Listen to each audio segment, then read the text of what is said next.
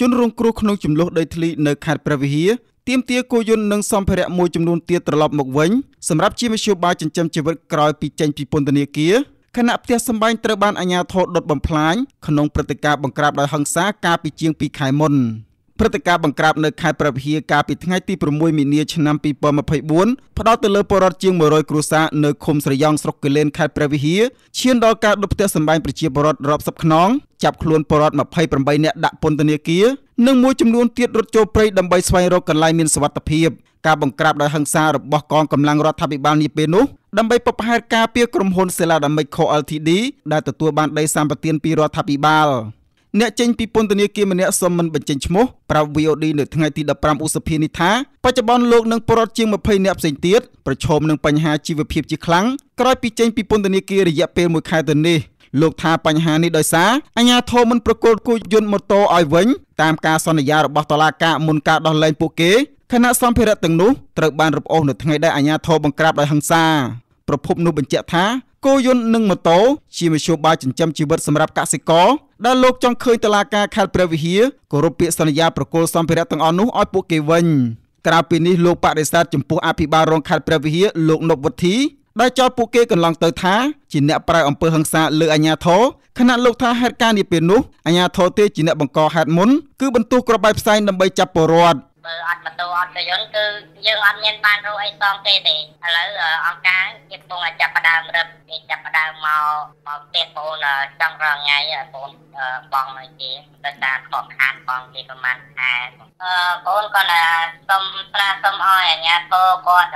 បកគលរបស់របរដូចជាកយន្តម៉ូតូអីហ្នឹងបកគលឲ្យពួកខ្ញុំវិញបានឆាប់ឆាប់ផងព្រោះដោយសារតែពួកខ្ញុំដូចជាអ្នកអត់កត់ក្រអញ្ចឹងហើយគឺបានរបស់ហ្នឹងមកដើម្បីរស់ស៊ីដោះស្រាយចំជីវភាពគ្រួសារបើសិនជាអត់ទេនៅទុករយៈពេលអញ្ចឹងរហូតតែជាអាចនឹងធ្លាក់ក្នុងដៅជ្រៅជាងមុនទៀតបើសិនជានៅរយៈពេលពលរដ្ឋមានចំនួនដីធ្លីម្នាក់ទៀតគឺអ្នកស្រីធៀងឡានិយាយថាក្រោយពីចេញពីពន្ធនាគារអ្នកស្រីបាត់បង់អ្វីៗទាំងអស់សូម្បីតែប្តីអ្នកស្រីក៏ត្រូវបែកផ្លូវគ្នាដោយសារបញ្ហាចំនួនដីធ្លីនេះផងដែរអ្នកស្រីបន្តថាបច្ចុប្បន្ននេះអ្នកស្រីកំពុងរងគ្រោះផ្ទួនផ្ទួនបាត់បង់ប្តីគ្មានផ្ទះសម្បែងគ្មានដីសម្រាប់បង្កបង្កើនផលហើយសម្ភារៈម៉ូតូនិងគោយន្តត្រូវបានអាជ្ញាធររឹបអូសអស់គ្មានសល់ដែលការនេះអ្នកស្រីឡា ទទូចឲ្យតុលាការខេត្តជួយពង្រឹងដោះស្រាយប្រកលសម្ភារៈគោយន្តនិងម៉ូតូជូនពលរដ្ឋវិញដើម្បីយកមកប្រកបមុខរបរចិញ្ចឹមជីវិតឡើងវិញទូលំបាកប្រទេសប្រទេសអស់របស់គេយកអស់ ប្តីប្រពន្ធក៏ប្តីបាក់គ្នាអស់បងចាធំដូចថាអាចជំពាក់ដូចថាប្អូនជិបធនាគារផងទូធំណាប្អូនចាំកូនម្នាក់ឯងទៀតហើយរកអង្គធនាគារម្នាក់ឯងទៀតបងប្អូនមានទូធំទីលំនៅក៏គ្មានអាគ្រួសារក៏បែកបាក់ចេញមកពីគុណាបងយន្តម៉ូតូគេអូសយកអស់ដីក៏គ្មានអាទីលំនៅក៏គ្មានប្រទេសក៏គេដិតឆេះអស់បងដោយឡែកស្ថាបនិកគណៈបកកែតម្រង់កម្ពុជាលោកអ៊ូចន្ទរតលើកឡើងថា ការបញ្ជាពេលប្រគល់សម្ភារៈឲ្យអ្នកភូមិ ដែលជាមធ្យោបាយចិញ្ចឹមជីវិតជាការបង្កើតបន្ទុកដល់ពលរដ្ឋរងគ្រោះអ្វីដែលសំខាន់ព្រោះការដែល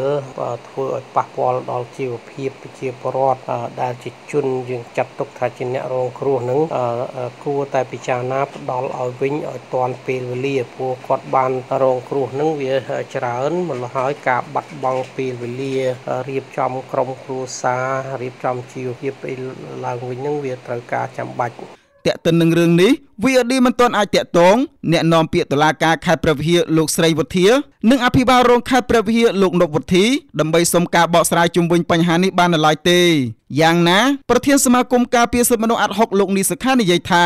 បើដោយការអះអាងរបស់បរដ្ឋមែនបរដ្ឋខ្លាចជាជនរងគ្រោះផ្ទួនផ្ទួនក្រោយចំណាត់ការរបស់អាជ្ញាធរ បើសិនជាយើងធ្វើបែបអញ្ចឹងមានន័យថាកំពុងតែការដាក់សម្ពាធនឹងធ្វើឲ្យប្រជាពលរដ្ឋកាន់តែរងគ្រោះណាពីពីបញ្ហាជីវភាពបញ្ហាអយុត្តិធម៌ផងបញ្ហាជីវភាពផងបញ្ហាអីផងអានឹងកាន់តែធ្វើឲ្យមានសម្ពាធស្មុគស្មាញអញ្ចឹងជារឿងដែលខ្ញុំស្នើជាអាជ្ញាធរល្មមដល់ពេលគិតគូរពីបញ្ហាប្រជាពលរដ្ឋអំពីសុខទុក្ខរបស់ប្រជាពលរដ្ឋយើងជាអាជ្ញាធររដ្ឋដែលមានកាតព្វកិច្ចក្នុងការដោះស្រាយបញ្ហារបស់ពលរដ្ឋនៅតាមមូលដ្ឋាននីមួយៗនឹងហើយបាទ កាលពីថ្ងៃទី16មេសាឆ្នាំ2024តុលាការខេត្តព្រះវិហារសម្រេចដោះលែងពលរដ្ឋ28នាក់ដែលរងការចោទប្រកាន់ថាទន្ទ្រានកាន់កាប់ដីរដ្ឋខុសច្បាប់នៅស្រុកគូលែនខេត្តព្រះវិហារឲ្យនៅក្រៅឃុំបណ្ដោះអាសន្នក្រោមការឃ្លាំមើលរបស់តុលាការខេត្តយ៉ាងណាសង្គមស៊ីវិលរកឃើញថាការផ្ដោតដីសម្បត្តិសេដ្ឋកិច្ចឲ្យក្រុមហ៊ុន Celadamic Co Ltd ក្រមហេតុផលអភិវឌ្ឍដំណាំកៅស៊ូនៅស្រុកគូលែនខេត្តព្រះវិហារបង្កផលប៉ះពាល់ដល់ប្រជាពលរដ្ឋជិត1000គ្រួសារជំរុញឲ្យមានការលើកឡើងថា នយោបាយផ្ដាល់ដីសម្បត្តិរបស់រដ្ឋាភិបាលពង្រីកអយុធធម៌ដល់សហគមន៍ក្រីក្រស្ទើរតែគ្រប់ទីកន្លែងក្នុងផ្ទៃប្រទេសខ្ញុំបាទប៉ុលសំបាត់ VOD